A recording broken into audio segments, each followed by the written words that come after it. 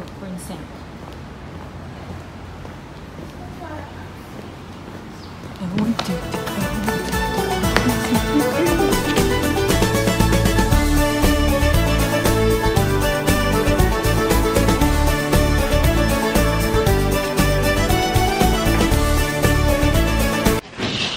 Some shit's about to go down. oh my god.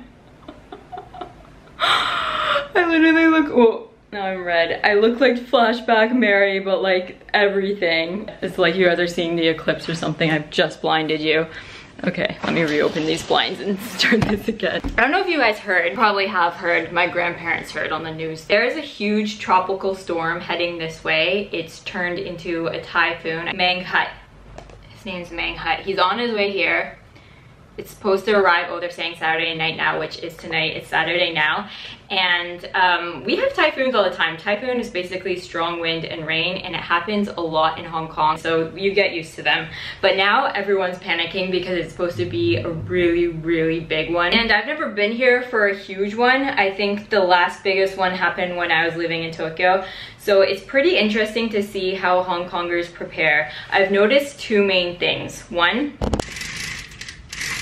Oh, oh, oh. There's so many, found so many. Okay. This is what they do. Some sort of demonic ritual that you add this to your window with masking tape.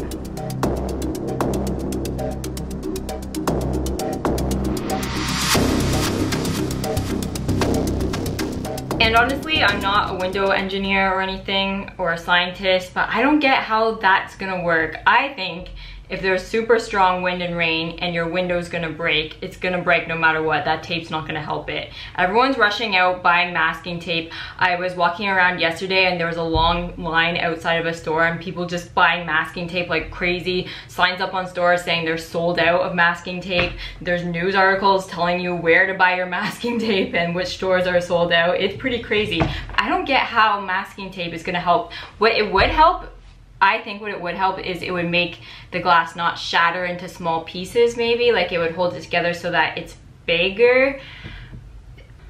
But I don't think it's gonna keep the Typhoon out if it wants to go in. The only thing I think it can keep out is Satan. That's and to me, the thing that would be more annoying than picking up smaller pieces of glass is taking off masking tape from the window. Like first of all, think of placing masking tape on a window. It's gonna make marks. It's gonna take a long time to get it off. Add add the hot Hong Kong sun, which is going to melt the plastic of the tape even deeper and stick into the window even more. And you're gonna be spending hours and hours. Like half of them are probably just gonna end up leaving it up. I know it. I'm gonna watch and I'm gonna see. It's still gonna be up by Christmas because no one's gonna wanna take that down. No one has time for that anyways um, the masking tape thing if if you live here and you get it or if you're an engineer and you get why that makes sense please explain it to me in the comments because I don't understand and maybe I'm gonna regret it maybe someone's gonna have to my window and I'll be like I should have made the the 能，没想到玻璃竟然在四千四百零四帕的压力下就破了。 哎呀！哦，怎么会这样？It's literally gonna look like a horror scene tonight or tomorrow morning whenever it happens when it's all dark and like crazy storms and winds and rain and I look out into the darkness and I see these demonic things in people's windows. It looks like the end of the world. Another thing that looks like the end of the world is grocery stores right now. Everyone is rushing to buy food and stock up it's only supposed to last one day, maximum two, so that's another thing I don't really, but I guess you need to prepare for the worst, that makes sense, especially if you have family, you have pets, you need to, so we're, we are gonna go to the grocery store, we're gonna see how that whole situation is there um, in a second. That's part of today's plan. We're also gonna be going to our new apartment just to check that everything's closed tightly and everything is secure. Before we do all that, I just got a delivery from Zara. So I wanna show you guys, all the fall fashion is coming out. I rarely go shopping in person, like seeing people in a shop anymore now. Ordering online is so easy. You order it, they deliver it within a couple days. Try it on at home in your own convenience. Film a YouTube video unboxing its content. And then people can give all their opinions on what you look like. And then you can easily just, I guess the sending back part is the bad part because if you if you don't like it, you can either send it back, which is kind of a hassle to go to the the post office because the lineups are always long and going to the post office is annoying. But then you could also bring it back to the store, but then that kind of defeats the purpose because you gotta talk to people. If you get it right, if you know what you like, you know your size, it's a pretty good deal. So I've got a hoodie. Now I don't really know what works and what doesn't work with my hair. Changing up my hair has changed up a lot of colors I think look good on me or like I feel like I need bolder makeup so my face doesn't look washed out. This is like too close to my hair color. I don't know. Maybe I think layered it's gonna be fine. It's just a simple hoodie that I can layer with colors. It's a neutral. Ooh. This shirt I'm really excited for. I feel like it's gonna bring out the green in my hazel eyes. Some of this stuff's long. I'm gonna set you guys up here. I also got this shirt. It kind of looks like a paper bag. Oh, I love that book, Paper Bag Princess. Um, but I thought it would look good with some shorts and some high boots. It's, it's gotta be worn with the right outfit, but I think it's gonna look cool. It's gonna look cool, trust me. So this can be adjusted here. This has the little black details here. Again, it's gonna go good with layering stuff, like a chunky turtleneck. And I just love the deep brown colors that come out in the fall, so I just wanted to get some neutral bits that I can layer with things and I'm gonna have fun with that. Zara stuff is on point. This is like the second package I've got lately. I'll show you, you'll see what I wear later. A lot of it's gonna be from Zara this fall. Love their t-shirts. Like I mentioned in a previous video, Jennie from Blackpink was wearing one of them the other day. That's how I know it's really cool. I actually, I, I love yeah, I have a confession. I really, really love Blackpink. If you don't know who Blackpink is for some reason, they are a Korean K-pop band and their music and their amazing dancing, all that aside, if you want to really fall in love with them, go to their YouTube channel, check out their reality series, The Blackpink House, and you will become obsessed instantly. Like, I couldn't stop watching it. So my favorites are Jennie. I love Jennie's style. I love her whole look, and I love Lisa's personality. I'm obsessed with these two. So I started following a lot of Blackpink accounts that post their fashion. In my last video, a lot of you were asking me where I got that pastel sweater from. And in one of the Blackpink I feel like I need to darken my camera. Okay, there I am.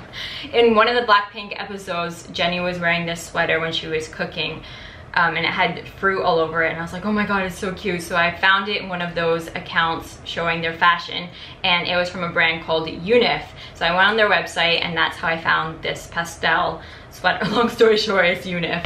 And um, yeah, so if you want some fashion inspiration, look at those Blackpink closet accounts because I just love stuff that those girls wear.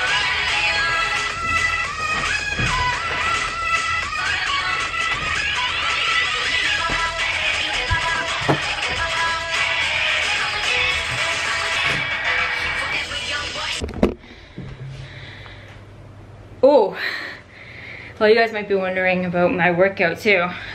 You're probably not. But as you saw this morning, because of course I documented it, I'm doing cardio again. It's been about a year and uh, uh, a year. it's been about a, mo a month and a half since I had my surgery and I slowly started doing cardio again. I'm not lifting heavy weights or doing abs or anything heavy because of course I can't do that yet. But I started walking come from? I started walking I started um, walking slowly, then faster, then on an incline, and then I started running, and now I'm even skipping a little bit. Just light jog, like a 30 minutes maximum. Feels good to sweat again. The two seconds of dancing like a K-pop star has me out of breath. I don't know how they do it. And they look so good while doing it. Lisa's dancing is cool. I don't, we don't know exactly when it's coming. So it's supposed to hit at like at night tonight. So we've got to get everything done. Look how beautiful it looks. But it's so deceiving. It's very, very soon it's all happening. Here, babe. Not really. What's the scariest typhoon you've ever experienced living here? Is there a scary one? Mm, no. Never. I'm Because the this off. buildings are so high and so many mountains, so So it blocks the water. But I guess like they're evacuating Tai O, I heard. So if you live lower and closer to the sea, it's a bit scarier. yeah. Question number two. What do you think about my hair now? Is it growing on you? Uh, it looks better now because the roots is coming out. Yeah, I got some little sprouts, sprouts happening. So you like it? Yeah, it's good. Really? Edgy. Edgy? So you take back what you back what you said about it not looking good and I shouldn't cut it. No, I still like the old long hair. But you like this one too. I like long hair better. Do you love me? Do you want to make Russian Chinese quarter Malfoy babies with me? The end. There's always an end. Oh, it's true. Look at this. This is another change. Usually Hong Kong is covered in advertisements here. There's huge billboards. It's usually Apple. Oh, there. Whatever. In this vicinity. All the ads are gone. Whoa. Never seen Hong Kong with no ads. Okay, so we are on the way.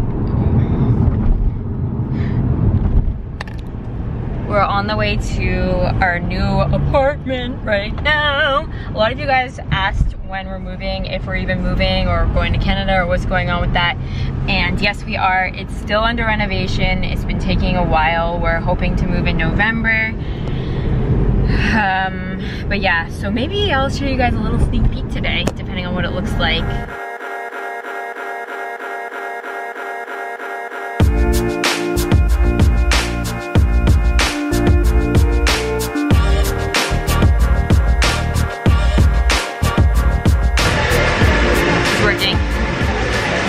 I wiped out hard in the elevator and I dropped you guys. I thought it was broken. Back though. Okay. So we're just at lunch. Oh yeah. Babe, how would you feel? I told you I loved you. Just kidding. how would you feel about doing a fiance tag video? Like, yeah, like okay, you don't have to be on, on camera if you're not comfortable, but like they can ask us questions or we talk about like so they can get to know you. Questions about you or relationship. Don't want hmm.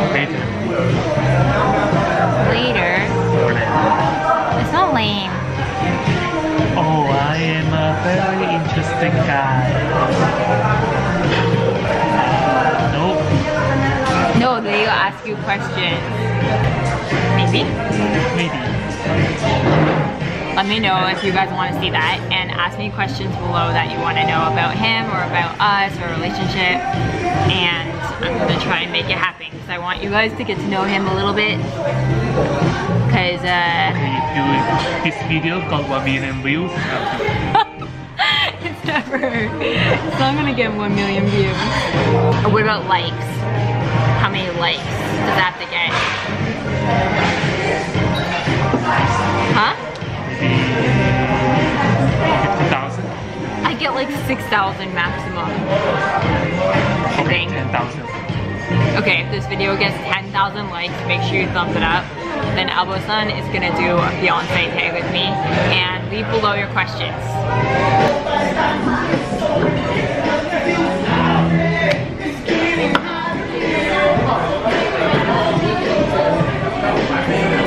Alright, so mission one was eat lunch. Mission two, we have to break into our apartment's mailbox.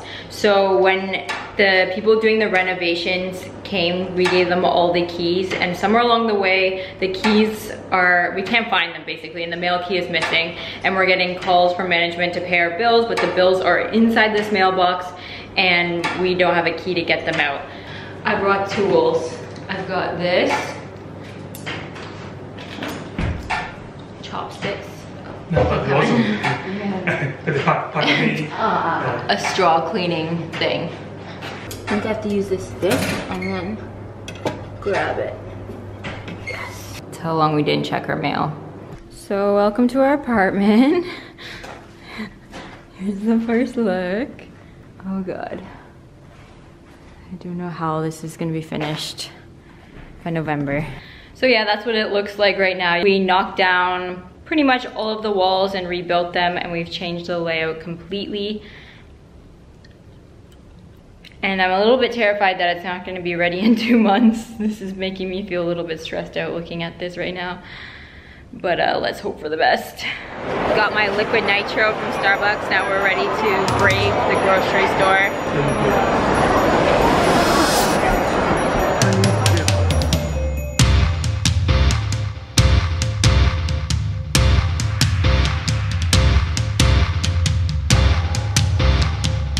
Got human snacks. We've got dog snacks. It's like typhoon is coming. Is that what it's saying? Yep. I can read the Like clouds. nicely, like typhoon is coming, or is it like typhoon is coming? Like winter is coming, typhoon is coming.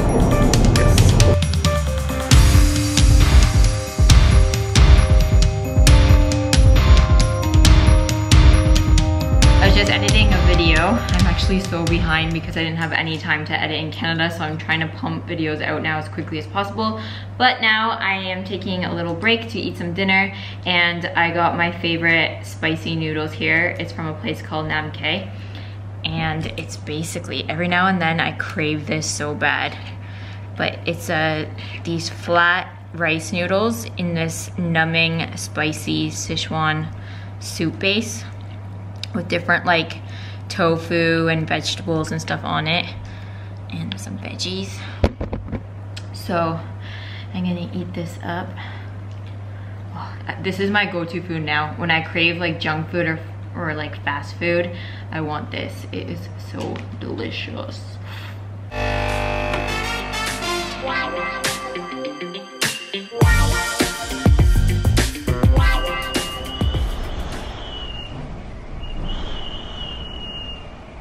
The wind is crazy strong now. My boyfriend's still, my fiance, my fiance is still sleeping I'm with Rosie.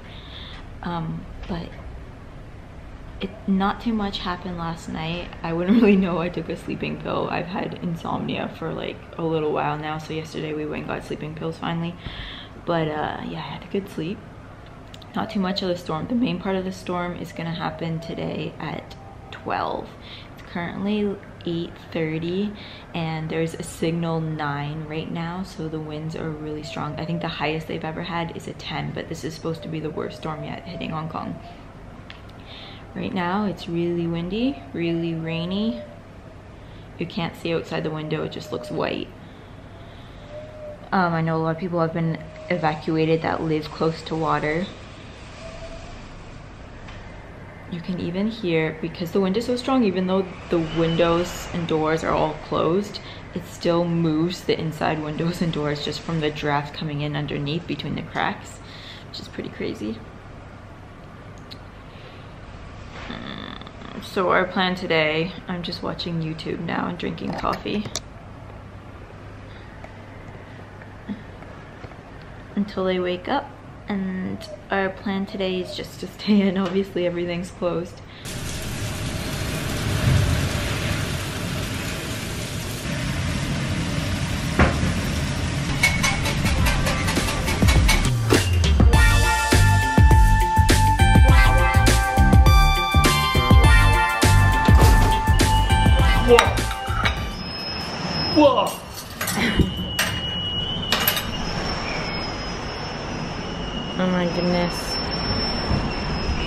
guys hear the noise.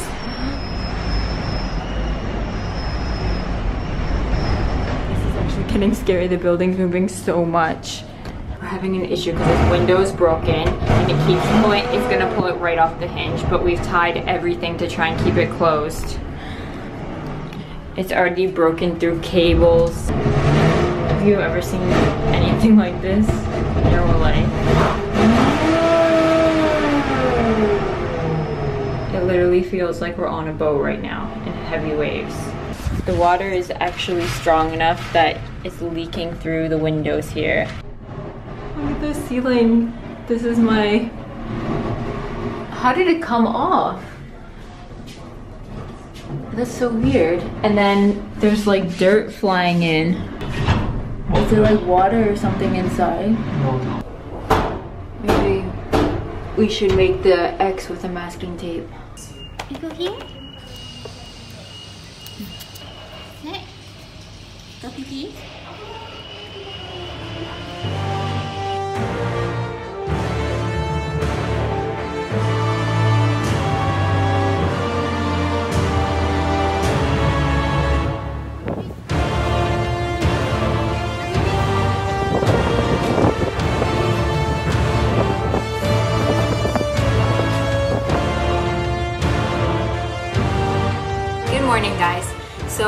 lighthearted jokes aside about the masking tape on the windows, uh, the typhoon swept through here and did quite a bit of damage yesterday. It's the next day now, and I'm just looking at the mess it made, and everyone's cleaning up, and there's a lot of um, news being put out there, videos, whatnot, but some buildings under construction fell down, flooding, a lot of damage has been done, and a lot of people and animals are in need of help. And I hate to put this out there because I hate to ask you guys for things or push my beliefs on you, but because this channel and so many of you were invested in the dog shelter I help out on. I've posted two videos on it now, and a lot of you guys donated and invested your hard tur- t- hard earned money and also your time sharing posts into that.